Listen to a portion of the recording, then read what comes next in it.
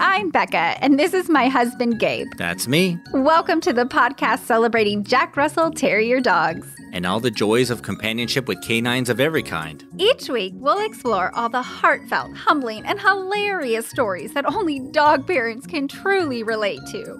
We're Jack Russell parents.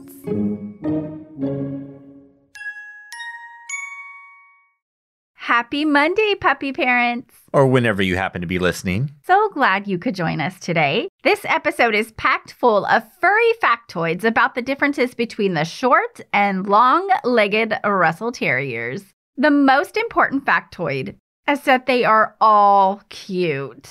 Right. Okay. Let's start there. Okay, that's a fact. Cuteness. Okay, agreed. So here's a little bit of JRT history for you, courtesy of lovemydogs.com. The origin story for Jack Russell Terriers was described in the memoir of Reverend John Russell, written by E.W.L. Davies. In 1815, the Reverend, then 20 years old and strolling near the River Cherwell, encountered a milkman with a terrier. The Reverend was absolutely passionate about fox hunting, which incorporates the help of dogs. Of the milkman's terrier, John said he'd only seen such a dog in his dreams. Determined to acquire the dream dog, he bargained with the owner until the female terrier called Trump came into his possession. She was all white, with dark tan over each eye and ear, and a dot of tan at the root of her tail. Her coat was thick and close and slightly wiry. Her legs were straight, while her entire frame suggested hardiness and endurance. Since then, breeders in England, Australia, and the USA have contributed to the development of the breed we know today.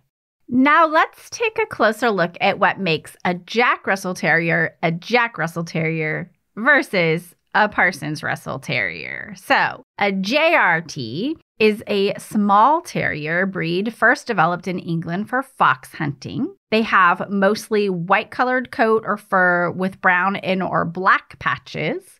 They are not very tall and heavy, but the height at the withers or the top of their front shoulders is about 10 to 15 inches. And the weight of JRTs range around 13 to 17 pounds, and they have a compact, balanced body structure. Also, the top of their skulls are actually flat, and their ears are V shaped and flapped forwards, as also with fox terriers. They are energetic dogs and require heavy exercise and constant stimulation for better health. Jack Russell Terriers can live a long life, ranging from around 13 to 16 years. Wiggles, our first Russell Terrier, lived to be about 17 and a half. His Rainbow Bridge anniversary was actually yesterday, nine years ago. Wow, I know. I still miss him. These littles last a long time, and the longer the better because they're just so lovable. Amen. Lastly, the JRT is not to be confused with the colloquially named Puddin Jack Russell. you heard me, Puddin, Puddin. which is an even shorter legged version, often with the crooked front legs. Uh-huh. And they, they have pointed ears, but their little front legs pop out. Yeah. They look like they're doing a ballet stance. Yeah, that's a Puddin Jack Russell. If you didn't know that, I didn't. I didn't either. Next, there's the Parson Russell Terrier, or the PRT. It's also a small dog breed originally bred in the late 1700s for fox hunting, all about the same time. The most obvious feature of PRTs is their resemblance to JRTs. Most people don't know the difference between JRT and Parson RT. That's why when people ask what kind of dog Carson is, we just say Jack Russell because Yeah. you know they've probably heard of that. They they most likely haven't heard of Parson Russell unless they're into the breed. So bred about the same time, they both eventually became two separate distinct breeds, mostly because of the way that they were employed in hunting. The taller PRTs were better suited for running with packs of dogs and rounding up the foxes, while the shorter JRTs were transported in terrier bags on horseback Ah, and then released to go underground in into small fox dens. interesting. Parsons have longer legs, and the lengths of which are almost equal to the length of the body. Yeah, so you can usually tell the difference between JRTs and PRTs because the PRT body length and leg length create a more square shape, while the JRTs with their cute stubby little legs have a more rectangular shape. So they're a little their body's a little longer and they're a little closer to the They're ground. more dachshundish. Yeah. So the PRT's head is also longer than a JRT's, and the chest is large and has V-shaped dropped ears being pointed towards the eyes. They have the same kind of we call them Dorito ears. Yeah. So they average about one foot tall at the withers and average about 15 to 20 pounds. They're a bit heavier because they're a bit bigger. Right. Parsons are super fast and agile with a proven record of accomplishment in excelling at dog sporting events. You see so many viral videos of the Jack Russells running around the agility courses. They're just so Mhm. good at it. Yeah. Besides the height and leg length, there are a few other differences we'd like to note, especially for those of you who are thinking of getting a JRT or PRT. Let's talk about coats and shedding. Oh boy. Okay. Both breeds come in one of three coat types short coat, which is like our Carson and Wiggles, were short coats. Broken coat, which is coarse with areas of short and long hair. And then there's the rough coat, which is long hair and it's soft long hair. Yeah, that's why rough always confuses me because the Because it's broken not coat, rough. it's not the broken coat, which Carson's cousin Bella, which lives with Becca's parents, her fur is like a Brillo pad. She's a broken coat and it's Mhm. hard. It's rough. Well, she has a soft head. she has a smooth little head. smooth little head.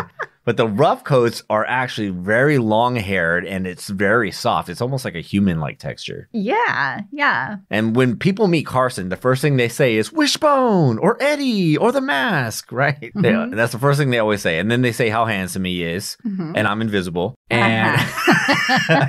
and then the next thing they always say is must be nice not to have to deal with shedding. Uh, yeah, no. Uh, Carson sheds like crazy. Imagine a super dry Christmas tree with white needles that exploded in your house. Uh-huh. That's what it's like. It is. That short hair is deceptive. It's actually the long, soft-haired Russells that don't shed. yeah. Yeah. it's- I, I don't I don't know how he's not naked. I mean there's hair everywhere, but he's still covered in hair. I don't know. Oh my gosh. Yeah, you pet him once and then there's a silhouette on the ground where he was standing. yes, it's true. Yeah, I just wish he would let us use that deshedder brush once oh, in a yes. while. But no, he wants to eat it instead. So, anyway, so the article continues saying another difference is training. Apparently, Parsons are easier to train, with Jacks likely requiring professional assistance. We've only had Parsons, so we can't really speak on that. Thank God. If Parsons, like our Carson, can be even more headstrong, I, I don't know. Right? I feel like I, I- needed some assistance with him, let alone a JRT. I'd- We'd have to buy a tool shed for the backyard, and I would live in that.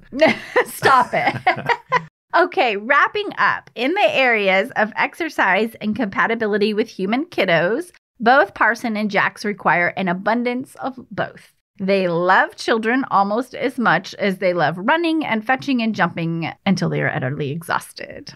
I get tired just thinking about it. Oh, me too. Now's the perfect time for us to catch our breath. Be right back.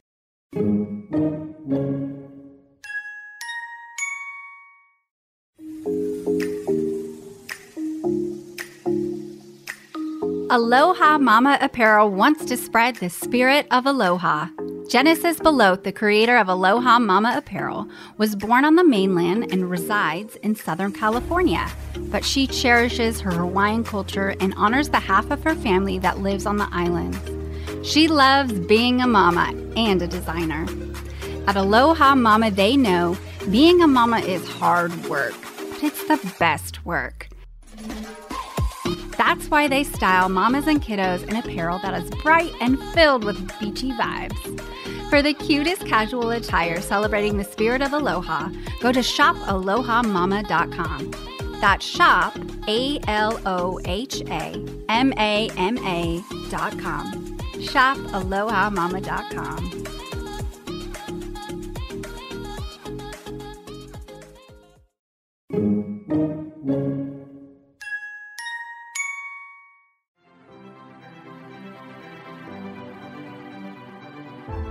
Eleven-year-old Walter just may die of boredom doing the most boring summer ever.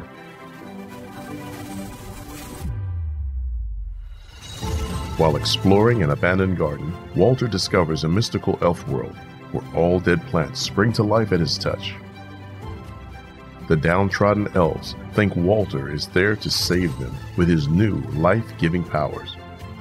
To defeat the wicked Ichabod von Schnothoof before he sucks everyone's joy dry with his never ending list of rules, Walter will need to use his best power yet his imagination. In a dying, oppressed world, one boy has the power to bring freedom and life. Walter Plume and the Dehydrated Imagination will take you and your middle grade reader on a thrilling journey while igniting the depths of your imagination. Boys the Book says beautiful imagery leads to spectacular world building in this fantasy that will leave the young reader glued to the pages. Relatable characters add to the magic of the story with never a dull moment. Get your magical fingers on a copy of Walter Plume and the Dehydrated Imagination by Rebecca Lynn Morales, now at Amazon.com. Find out more at walterplume.com. Let Walter and his story awaken your beautiful and creative imagination.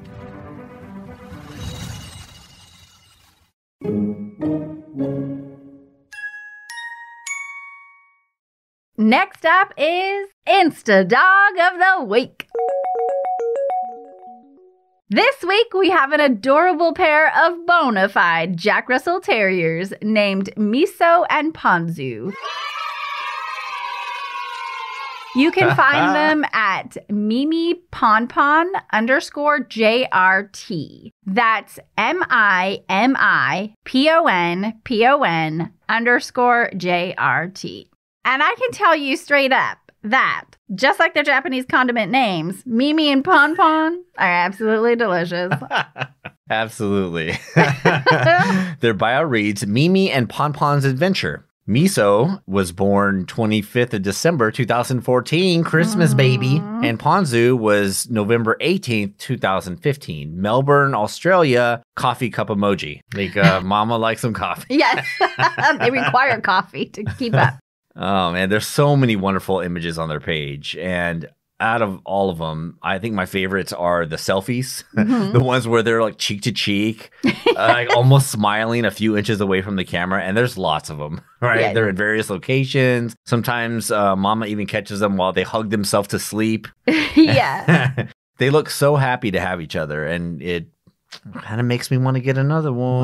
my gosh. Oh, I know. Oh my god. Okay, well, yes, because sometimes I feel like Carson needs a little friend. He does. But then we'd have to change the name of the podcast to Jack Russell's parents. Oh, and that's not going to work. So. We have to rebrand. So I think all JRTs are adorable, but these two are really quite Yeah, they, they adorable. taking it up a notch. I mean, and I think mom probably wears glasses because there's several pictures where mostly I think it's always Ponzu wearing the glasses. Sometimes Miso, I think, but mom puts their glasses on their pups and takes their pictures, and they're just these little black wired frame glasses. It's so Very- cute. Very Harry Potter-ish. And there's one where it says morning reads. It's actually a little video, and he's got like a blue and white striped shirt on.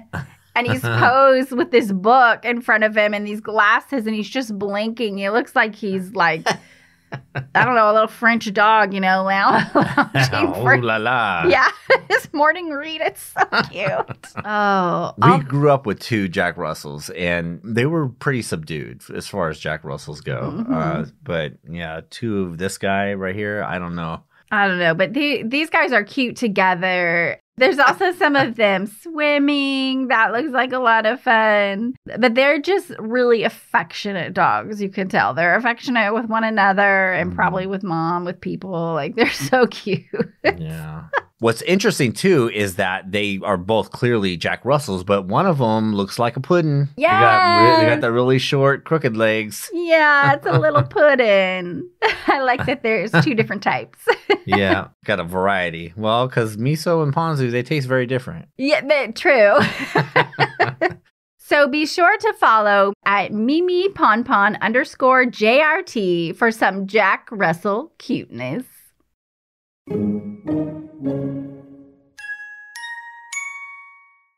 Whether you are a JRT or PRT or a puddin or just a dog lover in general, we hope you enjoyed learning these furry factoids.